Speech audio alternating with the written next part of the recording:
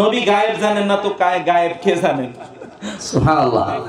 আল্লাহ তাআলা কি বলছে? কুল লা ইয়ালামু মান ফিস সামাওয়াতি ওয়াল আরদিল গায়বা ইল্লাল্লাহ। আল্লাহ বলছেন, আল্লাহ জানে। আল্লাহ ছাড়া কেউ জানে না, আল্লাহ বলছেন। এখন আপনার যদি পছন্দ না হয়, কোরআন আয়াতকে উল্টে দেন। আপনি প্যাস মারবেন, আমি জানি। প্যাসটা কি জানেন? আল্লাহর কাছে তো কোনো কিছু গায়েব নেই। সেটা তো কোনো বড় কথা না। বড় হচ্ছে, আপনার কাছে যা গায়েব, এটা গায়েব। আল্লাহর কাছে কোনো কিছু গায়েব এই হিসেবে কথা হচ্ছে না। আল্লাহর কাছে গায়েব, আপনি যেটা জানেন না, এটা আল্লাহ জানেন এটা হচ্ছে গায়েব। এইটা বুঝতে হবে, গায়েব বলতে কি বোঝানো হয়? মা গাবান আব আয়ুনিন খালক। সৃষ্টিকুলের চোখ থেকে, সৃষ্টিকুলের জ্ঞান থেকে যেটা গায়েব, এটাই গায়েব। এটা স্রষ্টার কোনো কিছু গায়েব নাই। লাই আযুবু আন আল মিসকাল যারাতিন ফিস সামাওয়াতি ওয়াল ফিল আসমান জমিনে কোনো কিছু গায়েব নাই, এটা ঠিক। আল্লাহর কাছে। কিন্তু আপনার দৃষ্টিতে যা, আপনি যা জানেন এটা আল্লাহ জানে।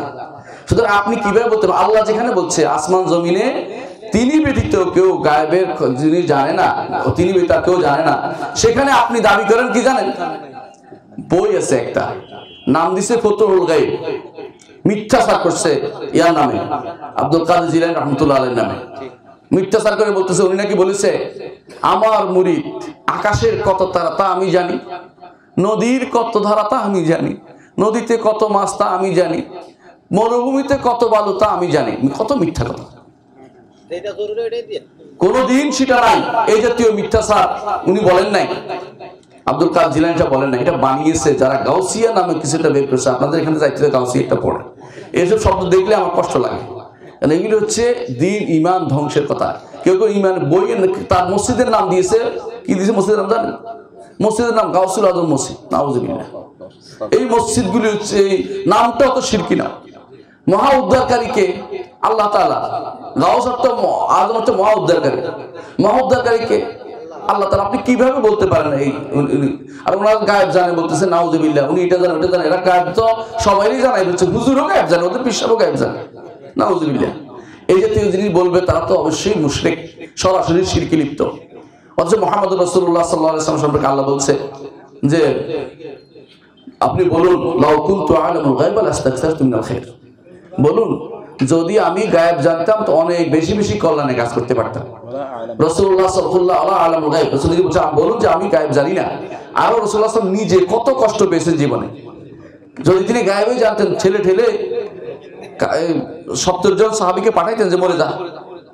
গায়েব জানতেন তিনি কি বলতেন যে আয়সা রাদিয়াল্লাহু আনহার বিষয় বিষয়টা নিয়ে যা হয়েছে তিনি বলতেন না যে আমি জানি, কিছু হয়েছে, তোমরা বলো না। বরং তিনি আকাশে আকাশ থেকে অহির অপেক্ষা করেছিলেন। আমি আমার গ্রন্থ একটা আছে, নামটা বলি, ওনারা হয়তো জানেন। আশির কুফুল কাদিম হাদিস, তিন খণ্ডের একটা বই আরবিতে। আরব দেশে খুব প্রচলিত, বেশি আর কি আদা। এটার মধ্যে একটা বিরাট চাপটা নিয়েছে, গায়েব জানার বিষয়টি নিয়ে। কোরআনে কারিম, রসুল হাদিস এবং সালমে সালিহ নীতি অনুসারে কেউ যদি বলে, গায়েবের দাবি করে সে কাফের। এতে কোনো সন্দেহ নেই। এটা আল্লাহ তালার একান্ত গুণ একান্ত গুণ, গায়েব জানাটা। এটা আল্লাহর একান্ত গুণ। এখানে যে জিনিসটা বলতে পারে সেটা হচ্ছে আল্লাহ তালা তার নবীকে অনেক কিছু জানিয়েছেন। এটা ঠিক। এটা ঠিক। কি জানিয়েছেন? কেয়ামতের আলামত অনেক কিছু জানিয়ে দিয়েছেন না। তুমি পূর্ব জন্মে যা হয়েছে সেগুলো জানিয়ে দিয়েছেন না।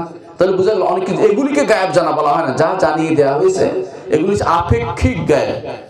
মূল না? মূল একমাত্র আল্লাহ তাআলা। এটা বিশ্বাস করছ যারা এই প্রশ্ন করেছেন, তারা কোরআনের সূরা আল আনআমের 50তম আয়াত লিখে নিন। সূরা আল আনআমের 50তম আয়াত, সূরা আল আরাফের 188 নম্বর আয়াত এবং সূরা হুদের 31তম আয়াত। এই তিনটা আয়াতে রাসূলুল্লাহ সাল্লাম নিজে বলেছেন, আল্লাহ তাকে বলতে বলেছেন, অথবা তিনি নিজেই বলছেন যে আমি গায়েব জানি না। রাসূল বলছেন, আমি গায়েব জানি আর আপনি জোর করে বলতেছেন, রাসূল গায়েব জানে। তাহলে তো আর মুসলমান থাকার কোনো উপায় নাই। আর কোনো উপায়। রাসূল বলছেন, আমি জানি আর আপনি জোর করে বলতেছেন, উনি জানে। আর মুসলমান থাকার কোনো উপায় আছে বলেন? বিশ্বাস থেকে বের হয়ে আসতে হবে মুসলমান হতে হলে। যারা বলছে, তারা বড় ধরনের লুটেরা। যারা আপনাদেরকে এই কথা শুনিয়েছে, রাসুল গায়েব জানে। তারা বড় ধরনের লুটেরা। তারা চোর ডাকাতের চেয়ে অনেক অনেক ভয়ঙ্কর। শয়তানের দোষর হিসাবে আপনাদের ইমান লুট করার জন্য ওরা এসছে। খবরদার।